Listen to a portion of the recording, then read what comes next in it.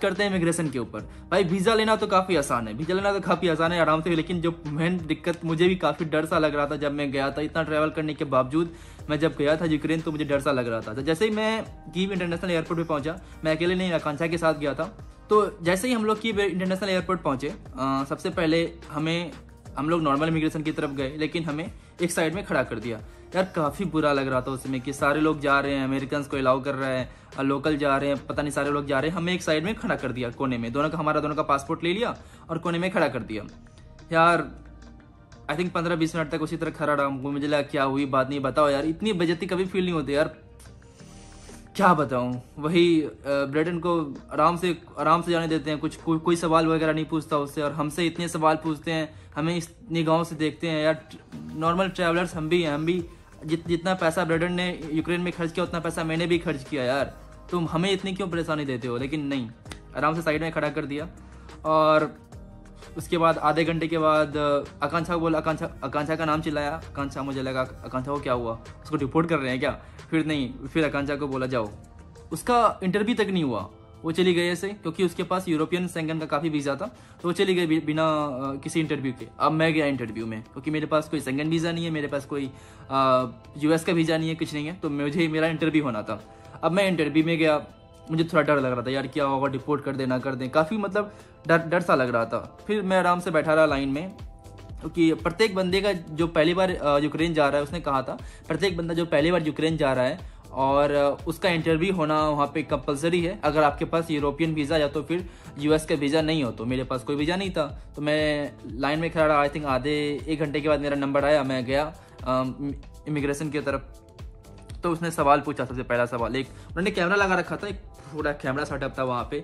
और जो भी हमारी बातें चल रही थी शुरू शुरू में उन्होंने कहा कि जो हमारी बातें होंगी वो रिकॉर्ड होगी ऑफिशियल्स देखेंगे ब्ला ब्ला देखेंगे, उन्होंने कहा, ठीक है स्टार्ट करते हैं बातें। तो सबसे पहले बोला क्या करते हो? मैंने कहा टूरिस्ट हूँ ट्रैवलर हूँ। ट्रैवलर मतलब कोई जॉब तो होगा नहीं, मैं ट्रैवल ही करता हूँ अच्छा। उसके बाद मेरा फिर, बोला था सारा डॉक्यूमेंट्स दो। फिर मैंने अपना उनको बैंक स्टेटमेंट दिया, मेरे पास कुछ पैसे लेके नहीं गया था मैं। मैं एक रुपये लेके नहीं गया था, मैं अपने जनरली अपने क्रेडिट कार्ड पे रिलाई करता हूँ। Card normal card credit card नहीं मेरे पास नॉर्मल कार्ड पर रिलाई करता हूँ जो डेबिट कार्ड होता है जो एटीएम कार्ड कह लो उसे तो मैं वहाँ गया तो मैंने अपना कार्ड जो मैंने बैंक की स्टेटमेंट करवा रखी थी मैंने वही दिखा दी। उसने बाद उसने देखा होटल बुकिंग दिखा होटल बुकिंग दिखा दी। रिटर्न फ़्लाइट टिकट दिखाओ रिटर्न फ़्लाइट टिकट मैंने करा रखी थी एमिरेट्स की जो जो, जो कि मैंने बाद में कैंसिल कर दी क्योंकि मुझे खुद नहीं पता था कि मैं यूक्रेन के बाद कहाँ जा रहा हूँ। हालाँकि मैं दुबई गया था, लेकिन सस्ती फ़्लाइट लेके गया था। मैं स्कायप एयरलाइन लेके गया था, जो कि 105 डॉलर की थी, और जो इमरेट्स वही हज़ार डॉलर की फ़्लाइट थी भाई हज़ार डॉलर की फ़्लाइट एक है मतलब सात, सात- सत्तर हज़ार और बिटवीन सात हज़ार रुपये तो मैंने इमरेट्स की फ़्लाइट करवा रखी थी कन्फर्म फ़्लाइट थी। आ, लेकिन वो कैंसिल कैं, मतलब कैंसिल करने पर कोई पैसे नहीं कटे थे मेरे। और तो मैंने जैसे ही मैंने दिखाई इमिरेट्स की फ़्लाइट दिखाई क्योंकि मुझे मुझे खुद नहीं पता था कि मैं अगली कंट्री कौन जाऊँगा। अब पहले से कोई कौन कैसे कितना बिजन के पहले कैसे कोई प्लान बना ले यार कि कौन सी अगले देश कौन सा जाना है? खास करके मुझे ऐसे ट्रैवलर्स के लिए कि कैसे कुछ पता नहीं रहता कि अगली कंट्री कहाँ जाना है। अभी मन किया तो कहीं चले गए कहीं मन किया कहीं चले गए। तो मैंने भी रिफंडेबल टिकट करा रखी थी। मैंने उनको दिखाया।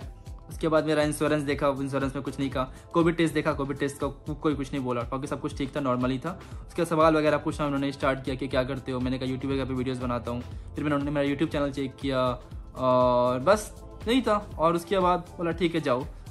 उसके बाद बोले, जाओ। लेकिन भाई, मैंने वहाँ पे देखा, कुछ लोग डिपोर्ट हुए थे। भाई, उनको जो डिपोर्ट होने का जो रीज़न था भाई कि उनके, उनका जो जवाब था ना, काफ़ी कंटेंट वाला जवाब नहीं था। नॉर्मली जवाब देते थे। तो मैंने कुछ लोगों से बात हो रही थी उसने मुझे कि आपको क्यों रिपोर्ट किया? तो बोलता है हमारे पास सारे डॉक्यूमेंट्स हैं फिर भी आपको हमें रिपोर्ट कर रहे हैं। मैंने कहा "डॉक- सारे डॉक्यूमेंट्स होने के बाद आपको रिपोर्ट क्यों कर रहे हैं?